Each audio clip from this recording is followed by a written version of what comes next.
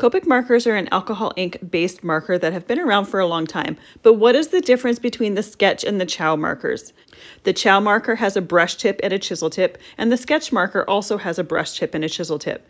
Basically, the only difference between the two markers is the Ciao marker is round and smaller, and the sketch marker is bigger. So the sketch marker holds more ink.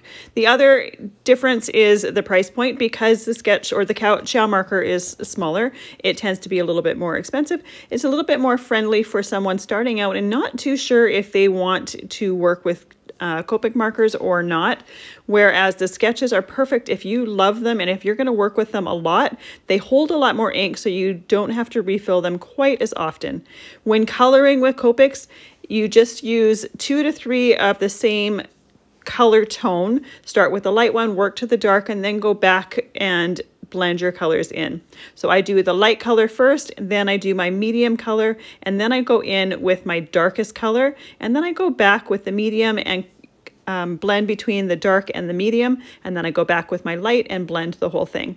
The nice thing with alcohol markers is because the alcohol base or the alcohol marker doesn't start to pill your paper, you can color that image for as long as you want and you can keep going back over it and touching it up. Whereas dye-based markers, you start coloring for just a few seconds and that paper starts to lift up and pill because of the water base or the dye base to it. I love the fact that this doesn't happen with alcohol-based markers so you can really perfect your blending.